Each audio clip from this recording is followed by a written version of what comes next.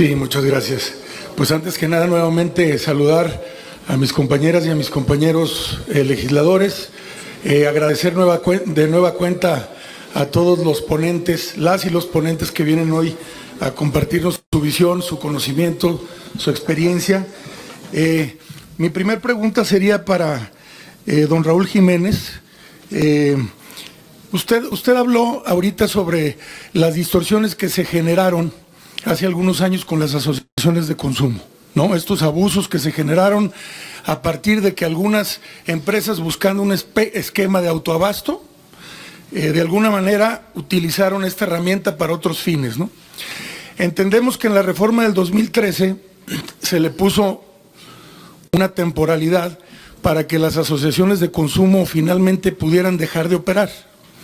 Entonces, Consideramos que eso ya está contemplado en la reforma del 2013, que finalmente ese esquema de asociaciones de consumo se va a terminar. Pero lo que hoy nosotros estamos viendo es que el mensaje que se lanza al presentar este proyecto de reforma, sin duda ha generado una preocupación importante que ya está en este momento, en este momento inhibiendo la, inversión eh, y que puede ser un golpe para la competitividad.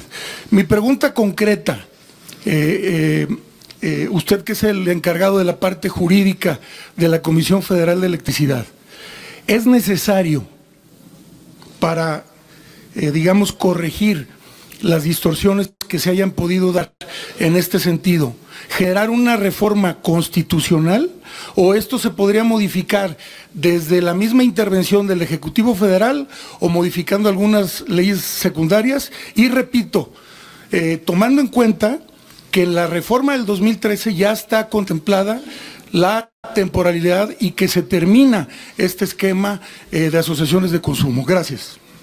Gracias, diputado Manuel Herrera. Le damos el uso de la voz hasta por cinco minutos al doctor Raúl Jiménez. Adelante, doctor. Eh, claro que sí, muchas gracias, diputado. Esta pregunta es sumamente interesante. Aprecio muchísimo que la formule. Déjeme hacer una precisión, una puntualización en los transitorios de la ley de la industria eléctrica no se fijó una temporalidad para la extinción de la vigencia de los permisos de autoabastecimiento. Existe sí la posibilidad en un precepto transitorio de este ordenamiento reglamentario de la reforma energética del 2013 que señala que los titulares de permisos de autoabastecimiento pueden migrar hacia un permiso en términos de la ley de la industria eléctrica y entonces constituirse en operadores funcionales dentro de la lógica del sistema eléctrico nacional. ¿Cuál es la temporalidad de los permisos de autoabastecimiento? La temporalidad está fijada en el propio permiso. Hay algunos permisos de los primarios, de los primigenios, que tienen una vigencia indefinida. Y hay otros que tienen una vigencia que está tasada en el tiempo. Consecuentemente, esta vigencia es justamente la que ocasiona la necesidad de meter orden en el mecanismo de autoabastecimiento. Eh, usted señala que quizás un mecanismo de solución de este esquema claro de simulación, esquema evidentemente fraudulento, esquema que no constituye otra cosa más que una puesta en escena, dice usted, podría ser la modificación en términos de la legislación secundaria. Déjeme decirle que justamente aquí en la sede de la Cámara de Diputados y subsecuentemente en la sede de la Cámara de Senadores. Se aprobó el año pasado un decreto de reformas y adiciones a la ley de la industria eléctrica, mismo que fue objeto de una lawfare, de una guerra judicial declarada por los empresarios autoabastecedores, productores independientes, y algunos pocos de los que detentan permisos tipo ley de la industria eléctrica. Hubo una cerrazón absoluta Frente a eso, la respuesta, lo sabemos, es un hecho público y notorio, del presidente de la República fue categórica. Vámonos a la reforma constitucional. No hay forma, no hay modo de resolver esta trabazón de tipo judicial y esta cerrazón absoluta en el sector privado de la industria eléctrica si no es a través de una reforma constitucional. Y la reforma constitucional se explica y se justifica justamente en el punto crítico que nos ocupa, porque estamos en presencia de una descarada simulación. Se enmascara como socios a quienes en realidad son clientes de los autoabastecedores inmersos en una relación clara, categóricamente, indiscutiblemente comercial. Y esto está perfectamente probado. Debo decirles, se han difundido noticias de prensa a este respecto, provenientes algunas incluso del exterior, que hoy por hoy hay procedimientos de revocación en curso de tramitación ante la Comisión Reguladora de Energía bajo el argumento toral, medular, del fraude a la ley. Pero no solamente hay fraude a la ley, tenemos además concentraciones económicas, mercados paralelos, prácticas monopólicas, competencia desleal contra Comisión Federal de Electricidad. De una molécula fue justamente esta modalidad pactada en el capítulo 6 del Telecán, energía y petroquímica, y trasvasada a la ley del servicio público, junto con la modalidad espejo de productores independientes, se generó un mercado paralelo, absolutamente irregular, y un mercado plagado de prácticas corruptas que hoy por hoy son claramente violatorias del capítulo de anticorrupción del Tratado Trilateral de Libre Comercio TEMEC, capítulo 27. Para concluir, cerraría esta intervención, señor diputado, diciendo, no hay modo de componer esto. El Estado no puede tolerar un esquema absolutamente fraudulento. Y fraudulento en su modus operandi, fraudulento porque ya lo dijo la Auditoría Superior de la Federación, y fraudulento porque ahí está la interpretación clara, precisa, puntual de la Suprema Corte de Justicia de la Nación.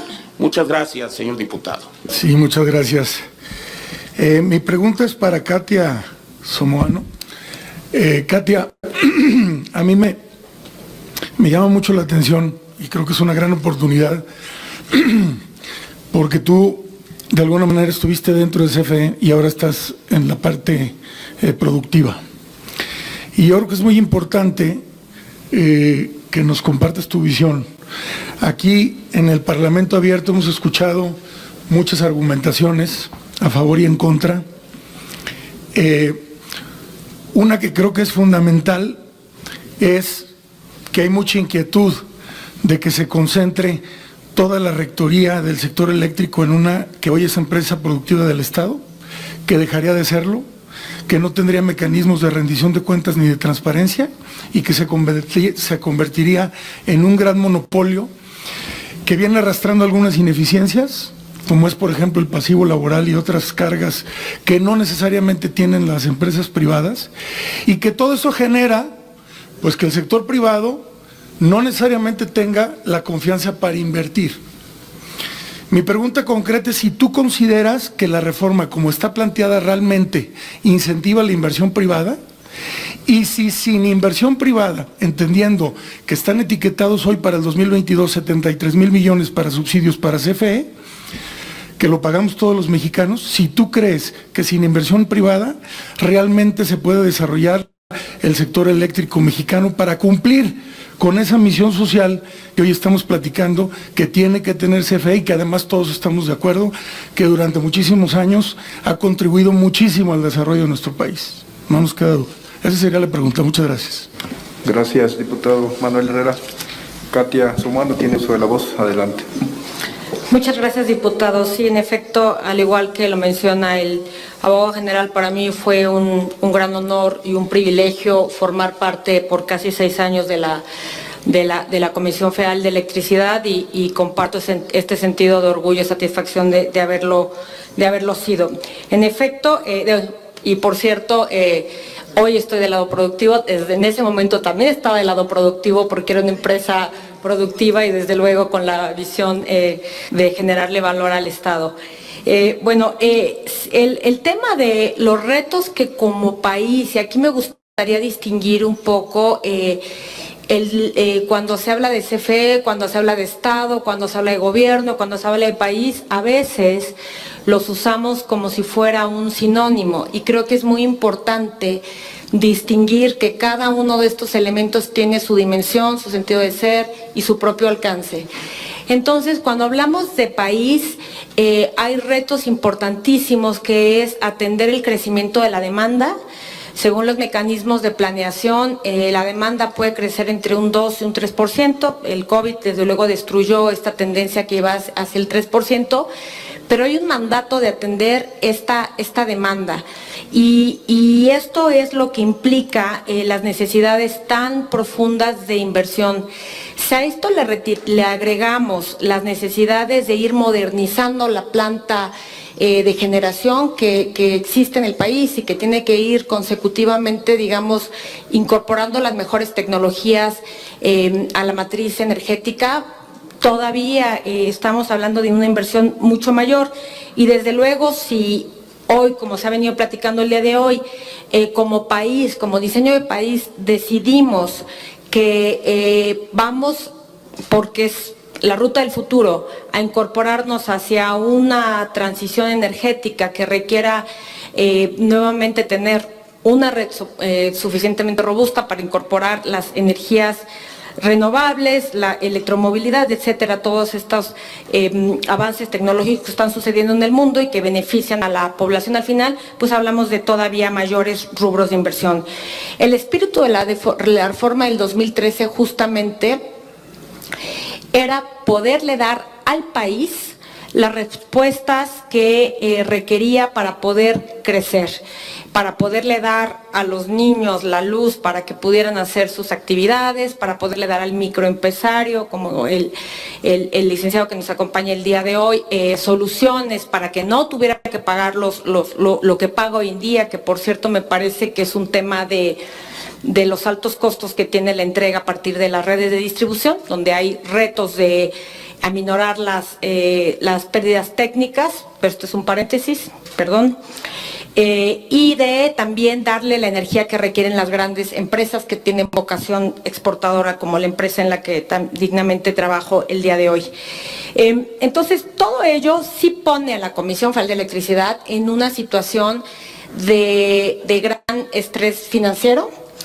Eh, tiene la Comisión eh, ciertas restricciones respecto del uso de su deuda eh, como cualquier instancia de gobierno, requiere aprobaciones y, nadie quiere endeudarse de más. Y más cuando no hay un escenario claro de recuperación de, estos, costos.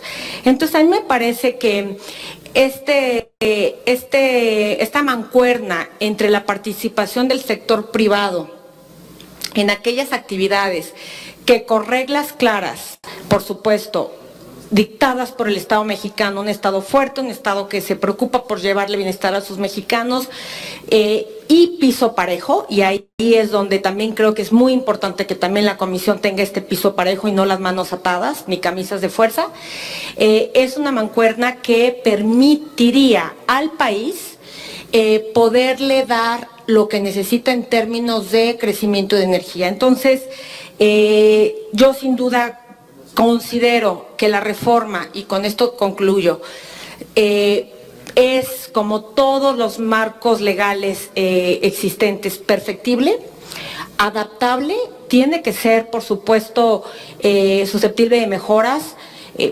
flexibilizada en función de los retos que vayan pasando. Es una reforma que ya va a cumplir 10 años. la ley de la industria eléctrica fue expedida en 2014 y eh, es susceptible de mejoras, es susceptible de revisión, es susceptible de incorporar temas que requieren, pero en mi opinión el marco constitucional es un marco todavía válido que permite eh, ver cómo las inversiones a gran escala tienen un tiempo de, maduración y estas inversiones van a empezar a, o ya empezaban a eh, generar estos frutos. Pero en mi opinión, eh, incluso como abogada, una constitución tiene que, un marco jurídico que es una constitución tiene que tener cierto periodo de estabilidad y maduración para poder empezar a ver los rubros. Hacia, hacia abajo, tanto la ley como la regulación, en mi, opinión, sí puede ser mejorada, sí puede ser adaptada, sí puede ser eh, perfeccionada. Esa sería mi respuesta, diputado. Muchas gracias.